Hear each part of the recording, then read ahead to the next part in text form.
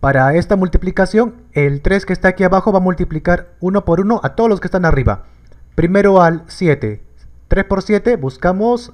Aquí está, 3 por 7, 21. Como 21 tiene dos cifras, el 2 primero acá arriba y el 1 acá. Así se completa 21. Ahora 3 multiplica al número que está aquí, al otro ahora.